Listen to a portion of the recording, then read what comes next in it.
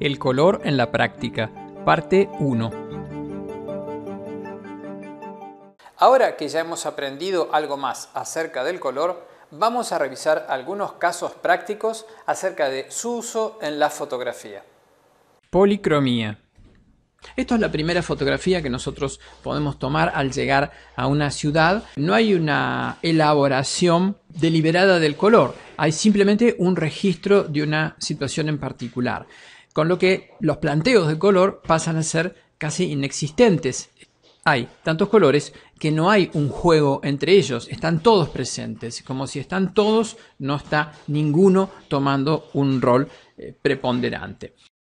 En esta otra imagen podemos encontrar que hay colores saturados, es decir, los objetos que están fotografiados en esta vidriera, todos han sido fabricados con colores muy saturados. Sí hay un esquema de color interno para cada objeto, pero el conjunto de los objetos que están representados no tiene ninguna narrativa, es totalmente al azar.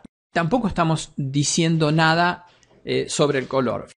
Lo mismo que aquí, en estas botellas, si bien cada botella tiene un esquema de color, cada etiqueta tiene un esquema de color desarrollado por el diseñador de la etiqueta, por ejemplo, a la derecha eh, la botella verde está contrastando con la tapa roja y el color rojo se repite en la etiqueta eh, que dice JB contra un fondo amarillo. Ahí hay un esquema de color y una intencionalidad, pero eso es dentro del diseño de la propia botella. Cuando nosotros miramos el conjunto de esta imagen, no alcanzamos a encontrar ninguna intencionalidad. Podemos decir aquí también, como en la primera imagen que vimos, que hay tantos colores que no hay ninguno. Están todos los colores posibles, y entonces no hay ningún juego inteligente eh, con el color, no hay ninguna intención con el color. Objetos blancos. Otro caso interesante relativo al color es el de los objetos blancos. Decimos que un objeto es blanco cuando está iluminado por luz neutral blanca y cuando está pintado de blanco o es de un material que consideramos blanco. Este es un ejemplo, la puerta de un barco iluminada por la luz del sol. Objetos neutros. Aquí tenemos otro ejemplo similar, una cámara fotográfica negra y plateada, iluminada por el flash de estudio, foto en la que observamos que sus tonos son neutrales. Pero si ustedes empiezan a mirar con detenimiento, van a ver que hay zonas de los tonos neutros que presentan una relativa coloración. Por ejemplo, esta parte aquí a la derecha de la imagen tiene un tono más cálido, aquí hay unos reflejos azulados y por supuesto si nosotros le quitamos todo el color a la imagen la vamos a convertir en una fotografía blanco y negro. Vean aquí cómo quitamos la saturación y tenemos una fotografía absolutamente blanco y negro, mientras que si restauramos a su valor original la saturación, vamos a encontrar una fotografía neutra, pero con pequeños matices de color que nos dan la idea de que se trata de una fotografía justamente en color. ¿Cómo saber si un blanco es realmente blanco? Bien, aquí tenemos el caso de un flash de estudio apuntando a un fondo blanco. Si pasamos al módulo de revelado, vamos a tomar la herramienta del gotero y vemos que este blanco en realidad tiene un exceso de azul de alrededor de un 3%. Esto significa entonces que una pequeña desviación en el color de la fotografía de un objeto neutro se percibe inmediatamente, mientras que un cambio de esta misma magnitud en una fotografía a todo color no se va a percibir con tanta facilidad. Los objetos blancos y el color de la luz. En esta foto vemos como la luz blanca del día ilumina la parte izquierda de la foto, mientras que en el lado derecho esta misma luz del día, luego de rebotar contra el piso de color madera le da a las zonas blancas un matiz cálido. En situaciones como estas tenemos que tener en cuenta entonces el rebote de la luz sobre superficies de color que puede llegar a teñir las sombras de nuestra fotografía. Colores complementarios.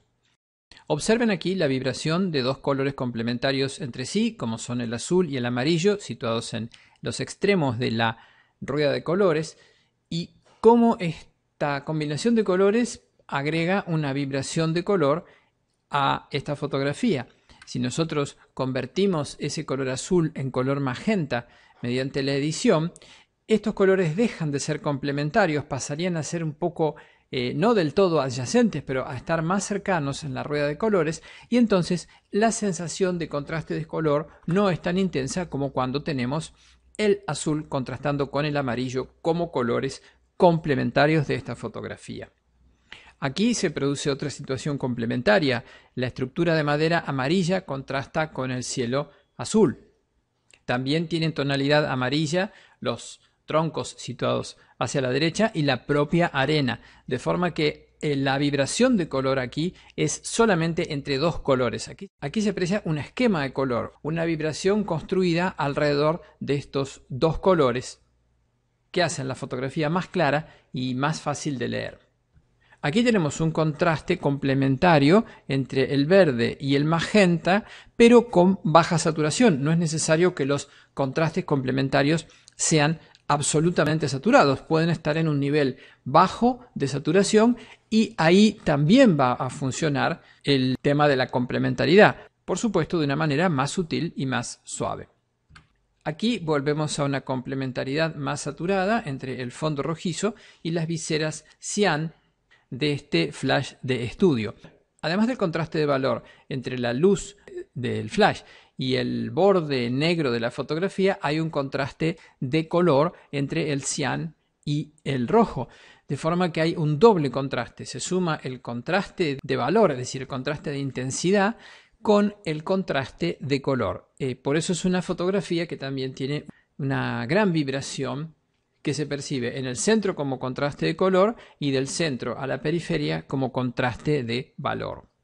Aquí nos encontramos un contraste de color complementario intenso entre la hoja de pasto desenfocada que está sobre el lado derecho y la prenda de la modelo que tiene un color magenta. Entre ambos se establece un diálogo de color que estructura la fotografía y ese contraste de color se cruza con la línea de la mirada del perro que mira hacia la derecha. De forma que los contrastes de color también pueden interactuar con las otras estructuras formales. Aquí aparecería un tercer color que no tiene mucha preponderancia, que sería el color marrón del, perro y de los árboles, y que de alguna manera empieza a sugerir la idea del el contraste de la tríada que vamos a ver ahora. Colores triádicos. El contraste triádico utiliza tres colores equidistantes en la rueda de colores. Aquí el azul, el verde y el rojo, en este caso un poquito desplazado. La idea del contraste triádico es siempre la de un equilibrio y la de una solidez en la imagen y evita una situación tan fuerte como la del contraste de los colores complementarios. En los colores triádicos hay una sensación de contraste y de armonía a la vez. En esta foto yo elegí a partir de un objeto que presentaba en sí mismo un contraste de tipo complementario entre cian y rojo, como es esta computadora, elegí, digo, agregar un tercer color en el fondo, que era un color verde, para lograr un contraste triádico, en el cual este fondo contrastara con el rojo de la carcasa del equipo y también con el cian de el display, de forma de lograr un contraste que también involucrase armonía. Esta imagen también presenta un contraste basado en la tríada de el naranja, el verde y el azul. Pero vamos a tratar de editar un poquito esta foto para acentuar los efectos. Ven que corregimos un poco exposición, aumentamos intensidad y tenemos muy destacada la saturación naranja, la saturación del cielo y poco destacada la saturación de el pasto y del verde, de forma que vamos a intervenir con el dispositivo de arrastre sobre el color y vamos a hacer clic aquí y fíjense cómo vamos a aumentar la saturación del verde del pasto. Esta es una forma en la que nosotros estamos recurriendo al software para hacer los colores de la tríada aún más efectivos. También podemos recurrir al tono, al ajuste interactivo de tono, y vamos a quitarle algo de verde a este naranja para que sea más puro. mientras que nos vamos con el ajuste de tono al verde ahora, con el ajuste interactivo de tono, para tratar de que este verde sea también más intenso. Aumentamos la saturación del verde y también, si ustedes quieren, podemos quitar la luminancia del azul. Vamos a encuadrar un poco. Aquí hemos logrado un contraste más efectivo, llevando los colores de la tríada a una posición más equidistante entre ellos, lo que nos permite este tipo de contraste que es intenso y equilibrado al mismo tiempo.